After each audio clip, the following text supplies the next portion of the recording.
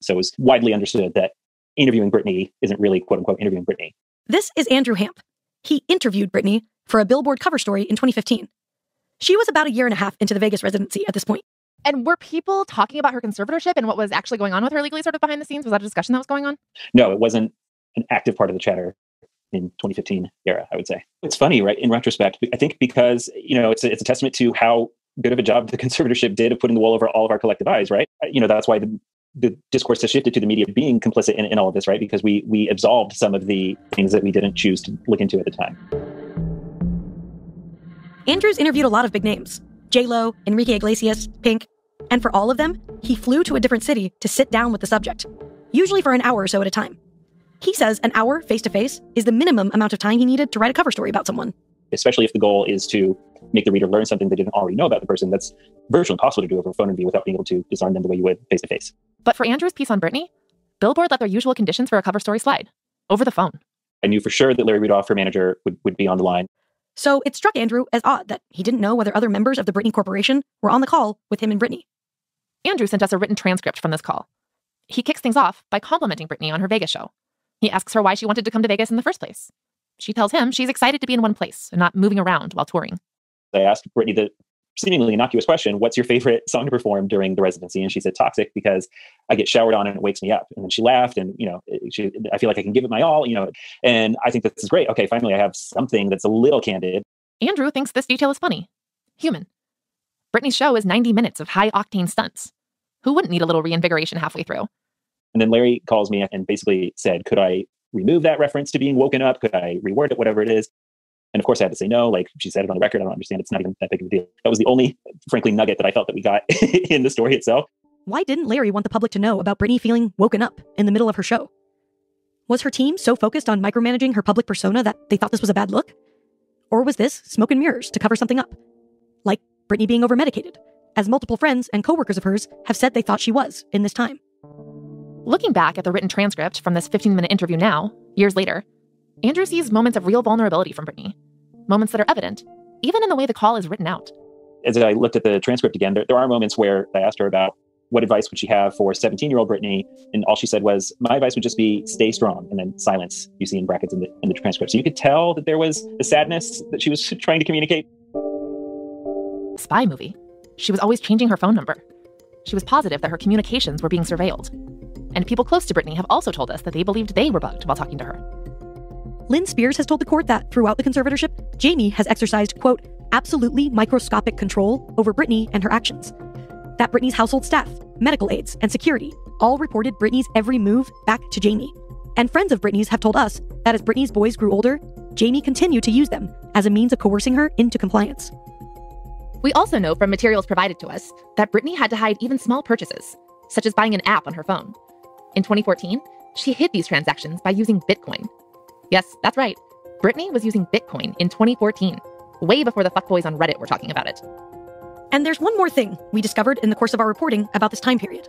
Britney wanted so badly to be free of this conservatorship that she was considering trying to escape the country. We've reviewed materials in which she discusses plans to obtain British citizenship. She dreamed of buying a country house outside London, where California probate laws would not apply to her.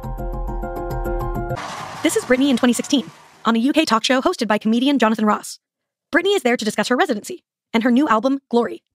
Most of the conversation is typical late night banter about Britney's life in Vegas.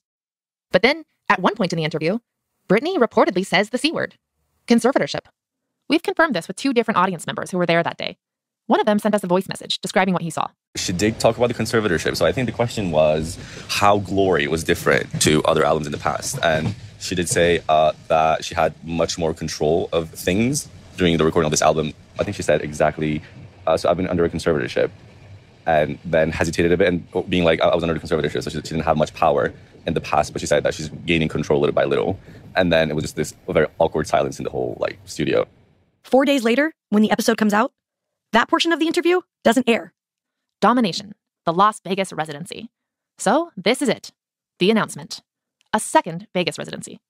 Fireworks ignite, dancers assemble, and then Britney slowly rises in the center of the stage, looking like she'd rather be literally anywhere else. She waves awkwardly and shifts her hands on and off of her hips. She looks around like she's waiting for something. Ladies and ladies, Ladies and gentlemen, Britney Spears! We're all expecting Britney to say something here. Thanks, guys. I'm so excited. Remind everybody when tickets go on sale. Even, hello. But there's nothing. Britney doesn't say a peep. After what feels like the world's longest 12 seconds, Britney walks down the stairs. She hits the red carpet and takes it all the way through the crowd. Then, still without saying anything, she just keeps walking and gets into a limo. And that's it. That's Britney's announcement. Remember how we told you in the last episode that Britney is currently on a work strike? Well, we're pretty sure that this was the beginning of that strike. This announcement fiasco is the last time Britney has appeared live before an audience. Because a few months later, she cancels the brand new residency altogether. And two and a half years after that, the smoke and mirrors era would end. The illusion would be broken by Britney herself. I just want my life back, and it's been 13 years, and it's enough. Next time on Toxic, we'll finally hear Britney, unfiltered. I should be in a conservatorship if I can work and provide money and work for myself and pay other people. It makes no sense. The laws need to change.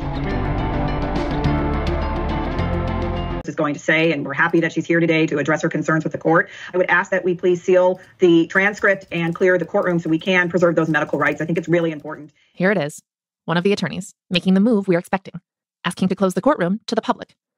I'm thinking, great. Now I'm going to have to leave with the rest of the reporters. So more stuff will happen behind closed doors. And, and it could be that she brings up issues related to her family and her minor children, and they have their own privacy rights. And I think anything said about them. They've done a good job at exploiting my, my life, so I feel like it, it should be an open court hearing and they should um, listen and um, hear what I have to say. Oh my God. Oh my God. Right now is not even the first time Britney has told the judge about all this. She calls out the judge for her inaction over the last two years. I will be honest with you, I haven't been back to court in a long time because I don't think I was heard on any level when I came to court the last time. I'm telling you again because I'm not lying. I want to feel heard, and I'm telling you this again so maybe you can understand the depth and the degree and the damage that they did to me back then. After that 2019 testimony, which was closed to the public, Britney didn't get what she wanted. Her dad didn't resign. The conservatorship didn't end.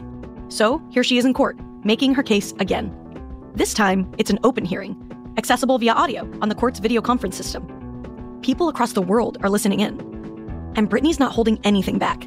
She tells the court exactly how she feels about her dad, Jamie, about how cruel he was in sending her to the treatment center against her will. I cried on the phone for an hour and he loved every minute of it. The control he had over someone as powerful as me to hurt his own daughter 100,000%, he loved it. Unpack the power dynamics surrounding Britney and the veil of silence that's still wrapped around her story. I think we're still living in sort of the, the ruins of that structure of secrecy, where, you know, there was an easy narrative presented for why this had to be the way that she was controlled.